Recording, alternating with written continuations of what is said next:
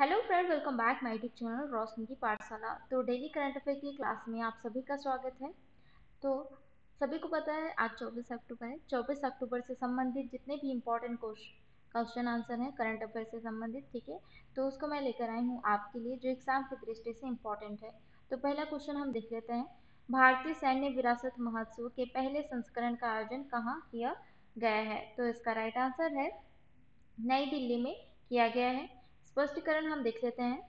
भारतीय सैन्य विरासत महोत्सव के पहले संस्करण का उद्घाटन नई दिल्ली में किया गया है, जो कि इस महोत्सव का आयोजन जो है 21 से 22 अक्टूबर तक किया जाएगा, ठीक है? और उत्सव के माध्यम से जो है, भारत की समृद्ध सैन्य संस्कृति और विरासत का जश्न मनाया गया है और रक्षा मंत्री राजनाथ सिंह ने प्रोजेक्ट उद्भव का भी लॉन्च किया है, ठीक है? आप रक्षा मंत्री राजनाथ सिंह को जो है आप पिक्चर में देख सकते हैं। ठीक है? उन्होंने जो है प्रोजेक्ट उद्भव का भी लॉन्च किया है। नेक्स्ट हम देख लेते हैं, हाल ही में आरबीआई के उप कार्यालय का उद्घाटन कहाँ किया गया है? तो इसका राइट आंसर है, ईटानगर में किया गया है आरबीआई के उप कार्यालय का उद्घाटन। स्पष्टीकरण हम देख लेते हैं। भारतीय रिज़र्व बैंक, यानी कि आरबीआई ने जो है ईटानगर, यानी कि ईटानगर का है, अरुणाचल प्रदेश में है। तो अरुणाचल प्रदेश के ईटानगर के में जो है एक उप कार्यालय स्थापित किया है किसने आरबीआई ने, ठीक है? यानी कि भारतीय रिज़र्व बैंक ने कहाँ पे किया है? अरुणाचल प्रदेश के ईटानगर में किया गया है, उप कार्यालय का स्थापित, स्थापना, ठीक है? तो आरबीआई के deputy governor doctor Michael Debabrata Patra ने जो है उप कार्यालय का उद्घाटन किया है और इससे पहले जो है जून में नागालैंड की राजधानी कोहिमा में आरबीआई का उप कार्यालय खोला गया था, ठीक है? यानी कि इससे पहले जो है कहाँ पे खोला गया था? नागालैंड की कोहिमा में खोला गया था, आरबीआई का उप कार्यालय, ठीक है? कहाँ कब खोला गया था? जून में खोला गया था और अभी हाल ही में कहाँ पे खोला गया है? अरुणाचल प्रदेश के ईटानगर में खोला गया है। बैंक एग्ज़ाम के लिए महत्वपूर्ण है। फ्रेंड अगर आप मेरे चैनल में पहली बार आए हैं तो चैनल को ज़रूर सब्सक्राइब करिए। साथ ही बेल आइकन को प्रेस कीजिए, ताकि आने वाली वीडियो का नोटिफिकेशन आपको मिलता रहे। तो सुबह रोज़ छः बजे जो है डेली करंट अफेयर की क्लासेस को जो है अटैम्प्ट करने के लिए मेरे चैनल को ज़रूर सब्सक्राइब करिएगा। जो एग्ज़ाम की दृष्टि से इम्पोर्टेंट रहता है, वैसे क्वेश्चन जो है मैं लेकर आते रहती हूँ। जो एग्ज़ाम की दृष्टि से इम्पोर्टेंट रहता है, ठीक है? याद रखना। तो भारतीय रिज़र्व बैंक की से संबंधित जो है, उसका जो है इन्फो देख लेते हैं, ठीक है, जो बैंक एग्ज़ाम के लिए इम्पोर्टेंट रहता है। तो भारतीय रिज़र्व बैंक यानी कि आरबीआई की स्थापना कब हुई थी? एक अप्रैल 1935 को हुई थी और इसका मुख्यालय कहाँ है? मुंबई, महाराष्ट्र में स्थित है। इनके गवर्नर जो है वर्तमान में शक्तिकांत दास जी हैं। और डिप्टी गवर्नर कौन है? देखो, डिप्टी गवर्नर जो है डॉक्टर एम डी पात्र और एम राजेश्वर राव टी रवि शंकर और जो है स्वामीनाथन जे हैं। ठीक है? कितने हैं? एक, दो, तीन, चार है। ठीक है? Deputy governor. और जो है, उन्नीस सौ उनचास में इसका राष्ट्रीयकरण किया गया था भारतीय रिज़र्व बैंक का। नेक्स्ट हम देख लेते हैं, भारत में ऑनलाइन वित्तीय धोखाधड़ी से लड़ने के लिए डिगी कवच कवच प्रोग्राम जो है, किसने लॉन्च किया है? तो डिजिटल यानी कि कवच प्रोग्राम जो है किसने लॉन्च किया है, किससे लड़ने के लिए? देखो, भारत में जो है, क्या हुआ है? पिछले तीन साल से सर्वे से पता चला है कि पिछले तीन साल से जो है ऑनलाइन वित्तीय धोखाधड़ी का मामला जो है, काफ़ी प्रतिशत से जो है, भारतीय परिवारों में दर्ज कराया गया है, ठीक है? और जिसमें से उनतीस, यानी कि 24 प्रतिशत लोगों का जो है पैसा वापस हुआ है, बाकी का नहीं हुआ है। तो इससे जो है लड़ने के लिए डिजी यानी कि डिजिटल कवच प्रोग्राम जो है लॉन्च किया गया है। किसने लॉन्च किया है? गूगल ने लॉन्च किया है वित्तीय धोखाधड़ी से बचने के लिए, ठीक है? तो स्पष्टीकरण हम देख लेते हैं। गूगल ने भारत में ऑनलाइन वित्तीय धोखाधड़ी से लड़ने के लिए डिजिटल कवच प्रोग्राम लॉन्च किया है। तो गूगल का लक्ष्य क्या है? धोखाधड़ी गतिविधियों से निपटना है, ठीक है? यानी कि देखो, क्या हो रहा है कि ऑनलाइन जो यानी कि साइबर क्राइम वाले जो हैं, यानी कि जो हैक करते हैं, ठीक है? वो क्या करते हैं? डेबिट कार्ड क्रेडिट कार्ड के थ्रू जो है, वो क्या कर रहे हैं? पैसा जो है, उन लोग चुरा ले रहे हैं, ठीक है? तो वित्तीय धोखाधड़ी का जो केस है उनचालीस प्रतिशत जो है भारत से दर्ज कराया गया है, ठीक है? जो कि ग्रामीण क्षेत्र के और शहरी क्षेत्र के अलग अलग हैं, ठीक है? और उसमें से जो है चौबीस प्रतिशत लोगों का ही पैसा वापस मिला है, अभी बाकी का नहीं मिला है। तो इससे बचने के लिए जो है, इससे लड़ने के लिए डिजिटल कवच प्रोग्राम लॉन्च किया है गूगल ने। याद रखना, क्वेश्चन पूछा जा सकता है इंपॉर्टेंट है, एग्ज़ाम में पूछा जाएगा, ठीक है? तो गूगल का डिजिटल कवच कार्यक्रम जो है भारतीय इंटरनेट उपयोगकर्ताओं के लिए अधिक सुरक्षित, डिजिटल वातावरण जो है तैयार करेगा। तो गूगल के बारे में हम जान लेते हैं। तो इसकी स्थापना जो है 4 सितंबर उन्नीस को किया गया था। इसके संस्थापक कौन है? देखो, आप देख सकते हैं पिक्चर में लेडी पेज और सर्गी ब्रेन हैं, ठीक है? गूगल के संस्थापक हैं, ठीक है? ये दोनों आप देख सकते हैं। और इसका मुख्यालय कहाँ है? कैलिफ़ोर्निया, यूएसए में है, ठीक है? और इसके सीईओ e कौन है? सुंदर पिचाई जी हैं और सीएफओ जो है रुद वोराट जी हैं। नेक्स्ट हम देख लेते हैं दुर्गा भारत सम्मान से किसे सम्मानित किया गया है? तो दुर्गा भारत सम्मान से किसे सम्मानित किया गया है? तो इसका राइट आंसर है, अजय चक्रवर्ती को सम्मानित किया गया है दुर्गा भारत सम्मान से, ठीक है? हिंदुस्तानी शास्त्रीय गायक और संगीतकार पंडित अजय चक्रवर्ती को पश्चिमी बंगाल, पश्चिम बंगाल के राज्यपाल सी वी आनंद बोस द्वारा जो है प्रतिष्ठित दुर्गा भारत सम्मान से सम्मानित किया गया है। किनको किया गया है? अजय चक्रवर्ती को किया गया है, ठीक है? इनके द्वारा किया गया पश्चिम बंगाल के राज्यपाल सी वी आनंद बोस द्वारा जो है किया गया है। और इसके अलावा जो है केंद्रीय विश्वविद्यालय विश्व भारती को शिक्षा के क्षेत्र में उत्कृष्ट योगदान देने के लिए दुर्गा भारत सम्मान प्रदान किया गया है। और बोस ने जो है garden reach ship builders and engineers और इसरो को भी पुरस्कार प्रदान किया गया है, ठीक है? याद रखना, ये भी जो है इम्पोर्टेंट है, ठीक है? एग्ज़ाम में पूछा जा सकता है। तो नेक्स्ट हम देख लेते हैं, विश्व हिम तेंदुआ दिवस कब मनाया जाता है? तो हिम से आप क्या समझ रहे हैं? बर्फीले क्षेत्र के जो तेंदुआ होते हैं, उनका दिवस कब मनाया गया है?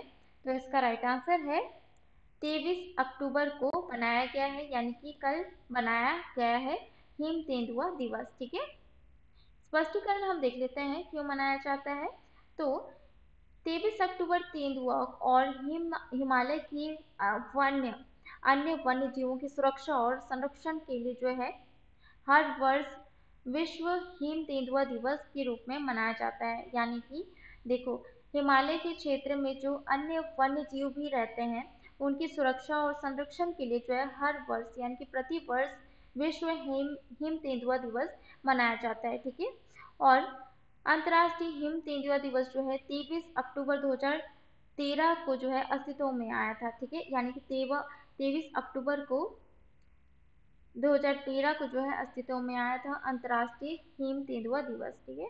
और अंतर्राष्ट्रीय तेंदुआ दिवस कब मनाया जाता है? तीन मई को मनाया जाता है, याद रखना। तो अक्टूबर में मनाए जाने वाले प्रमुख डेज़ के बारे में हम देख लेते हैं, दिवस के बारे में हम देख लेते हैं, जो एग्ज़ाम की दृष्टि से इम्पोर्टेंट है। तो 14 अक्टूबर को जो है विश्व मानव दिवस मनाया जाता है 15 अक्टूबर को वर्ल्ड वाइड केन दिवस मनाया जाता है, और 17 अक्टूबर को गरीबी गरीबी उन्मूलन के लिए अंतर्राष्ट्रीय दिवस मनाया जाता है। 20 अक्टूबर को अंतर्राष्ट्रीय सेब दिवस मनाया जाता है और 20 अक्टूबर को जो है विश्व ऑस्टियोपोरोसिस दिवस मनाया जाता है और 21 अक्टूबर को पुलिस स्मृति दिवस मनाया जाता है। नेक्स्ट क्वेश्चन है, अपतटीय जहाज़ से इलेक्ट्रोमैग्नेटिक रेल गन को सफलतापूर्वक लॉन्च करने वाला पहला देश कौन सा बना है? तो इसका राइट आंसर है जापान देश बना है। स्पष्टीकरण हम देख लेते हैं। जापान एक तट अपतटीय जहाज़ से जो है विद्युतीय चुंबकीय रेलगन को सफलतापूर्वक लॉन्च करने वाला पहला देश बन गया है।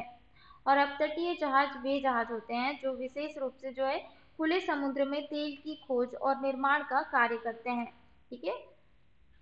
और रेलगन जो है सबसे घातक हथियार होते हैं और ये बड़े से बड़े ऑब्जेक्ट को आसानी से फायर करने में भी कैपेबल होते हैं, ठीक है? और इलेक्ट्रोमैग्नेटिक रेलगन जो है, किसी ऑब्जेक्ट को बेहद तेज जो है, तर, रफ्तार से जो है, दाग सकता है, यानी कि किसी भी ऑब्जेक्ट को, किसी भी जो है, वस्तु को जो है, वो रेलगन जो है, यानी कि इलेक्ट्रोमैग्नेटिक रेलगन जो है, बहुत रफ्तार से जो है, वो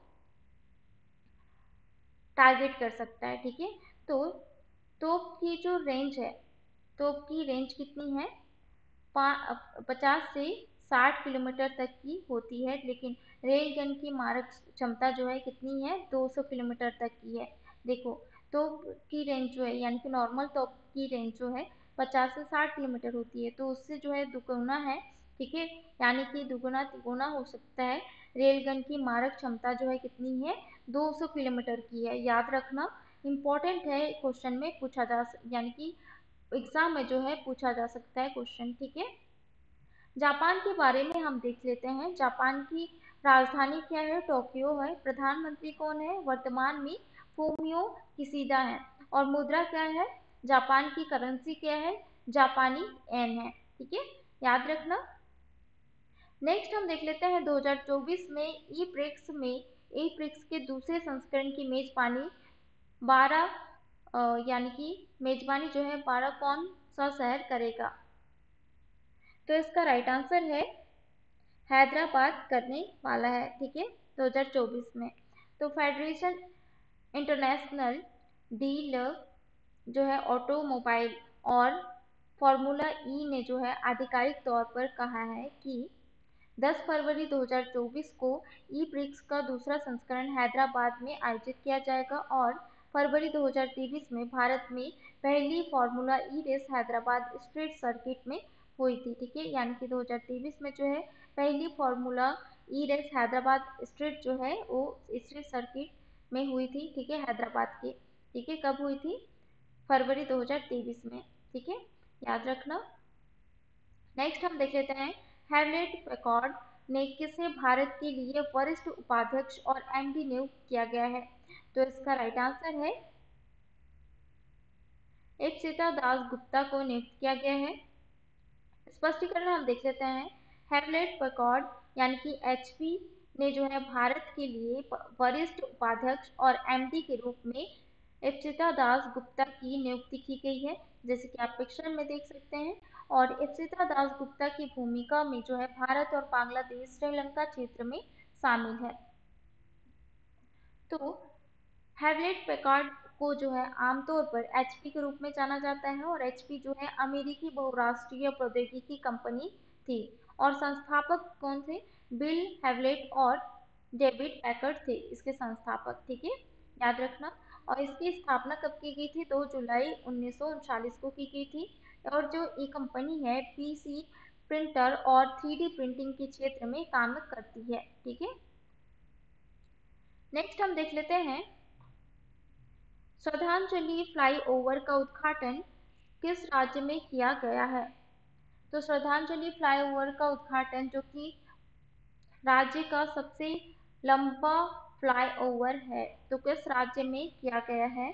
तो इसका राइट आंसर है, असम राज्य में किया गया है, ठीक है? स्पष्टीकरण हम देख लेते हैं। असम के मुख्यमंत्री हिमंत विश्व शर्मा ने गुवाहाटी में असम के दूसरे सब, सबसे जो है लंबे श्रद्धांजलि फ्लाईओवर का उद्घाटन किया गया है।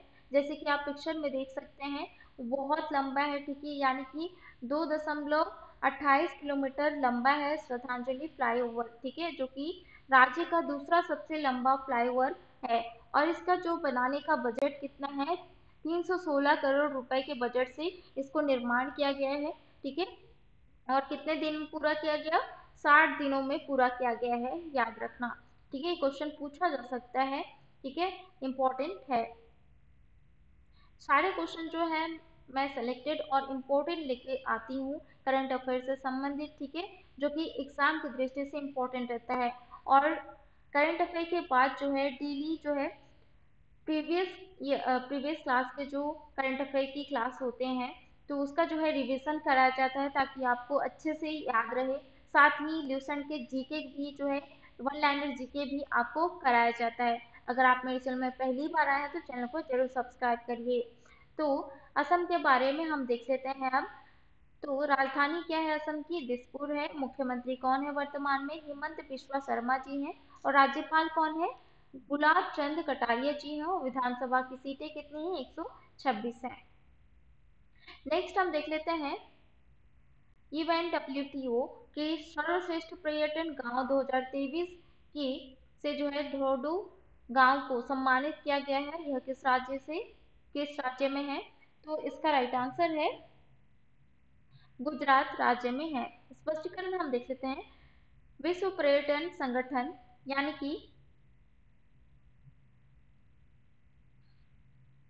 U N W T O इसका फुल फॉर्म है United Nations World Tourism Organization द्वारा जो है घोषित सिर्फ़ चौवन पर्यटन गाँव की सूची में, यानी कि चौवन गाँवों की पर्यटन गाँव की सूची में जो है धोडो गाँव को भी सर्वश्रेष्ठ पर्यटन गाँव के जो रूप में है, चुना गया है, ठीक है? और कहाँ पे ये है? धोडो गाँव। ये जो है, गुजरात में है, ठीक है? धोडो गाँव के साथ साथ जो है, दुनिया भर के कई अन्य गाँवों के जो मान्यता प्राप्त की जिनमें चिली में जो है, बेरनकास है और जापान में पीई और स्पेन में कैंट विएजा और मिस्र में जो है दहसोर कोरिया और जो है गणराज्य, यानी कि कोरिया गणराज्य में डोगबैक और जो है एल्बान में डोमो और पुर्तगाल में जो है एरिसीरा और कोलंबिया में फिलांडिया शामिल है। तो इन इन गाँवों को जो है कौन सा सम्मान दिया गया है? विश्व पर्यटन संगठन द्वारा जो है घोषित किया गया है। सर्वश्रेष्ठ पर्यटन गाँव, ठीक है? याद रखना। तो विश्व पर्यटन संगठन यानी कि United Nations World Tourism Organization जो है मद्रिद, स्पेन में स्थित जो है संयुक्त राष्ट्र की एक संस्था है। और ये जो है विश्व में पर्यटन संबंधी देखरेख करती है, ठीक है? याद रखना। इसका जो है लोगो आप देख सकते हैं, ठीक है? तो अब जो है रिवाइज का टाइम आ गया है। अब जो है पिछले क्लास के करंट अफेयर की क्वेश्चन आंसर जो है हम रिवाइज करेंगे, ठीक है? जो कि इम्पोर्टेंट है आपकी एग्ज़ाम की दृष्टि से एग्ज़ाम में जो है क्वेश्चन पूछे जाएँगे, ठीक है? तो रिवाइज हम कर लेते हैं। अगर आपको क्वेश्चन का आंसर पता हो तो आप जो है कमेंट करके बताते चाहिएगा तो गगनयान के क्रू मॉड्यूल को किसने सफलतापूर्वक लॉन्च किया है? तो इसका राइट आंसर है, इसरो ने लॉन्च किया है। भारत सरकार ने किस वर्ष तक भारत सेमीकंडक्टर रिसर्च सेंटर स्थापित करने का लक्ष्य रखा है? तो इसका राइट आंसर है 2024 तक, यानी कि नेक्स्ट ईयर तक। तो औद्योगिक प्रदूषण विरोधी अभियान किस राज्य या केंद्र शासित प्रदेश ने शुरू किया है? तो इसका राइट आंसर है दिल्ली ने शुरू किया है। एंथुरियम महोत्सव किस राज्य में शुरू हुआ है? तो इसका राइट आंसर है मिजोरम में शुरू हुआ है। उत्तर प्रदेश का पहला मिशन शक्ति कैफ़े कहाँ स्थापित किया गया है? तो इसका राइट आंसर है गोंडा में स्थापित किया गया है। भारत का दूसरा वेलोड्रम कहाँ बनाया जाएगा? तो भारत का दूसरा वेलोड्रम जो है कहाँ पे मनाया जाएगा, भोपाल में मनाया जाएगा। सहकारी बैंक की जमा लिंक्ड ऋण योजना किस राज्य में शुरू की गई है? तो इसका राइट आंसर है, हिमाचल प्रदेश राज्य में शुरू की गई है। कोल्ड ब्लेडेड लव उपन्यास के लेखक कौन है? तो इसका राइट आंसर है गिरीश दत्त शुक्ल जी हैं। नितिन गडकरी ने देश का सबसे ऊँचा राष्ट्रीय ध्वज, जो कि 418 फीट का है किस बॉर्डर पर फहराया है? तो इसका राइट आंसर है, अटारी वाघा बॉर्डर पर फैलाया गया फहराया गया है। ठीक है, भारतीय ध्वज। किस देश के इकतालीस राजनीतियों को भारत छोड़ना पड़ा है? तो इसका राइट आंसर है, कनाडा के जो है राजनीतियों को, इकतालीस राजनीतियों को भारत छोड़ना पड़ा है। तो अब पारी है लिसन जीके की। तो लिसन जीके हम, में हम देखेंगे विश्व के सबसे बड़े बड़े जो इमारत हैं और सागर हैं, इस सबके बारे में जो एग्ज़ाम की दृष्टि से इम्पोर्टेंट है। तो विश्व का सबसे बड़ा महाद्वीप कौन सा है? एशिया महाद्वीप है, जो कि विश्व के क्षेत्रफल का 30 प्रतिशत हिस्सा है। और विश्व का सबसे छोटा महाद्वीप कौन सा है? ऑस्ट्रेलिया महाद्वीप है और विश्व का सबसे बड़ा महासागर कौन सा है? प्रशांत महासागर है। और विश्व का सबसे छोटा महासागर कौन सा है? आर्कटिक महासागर है।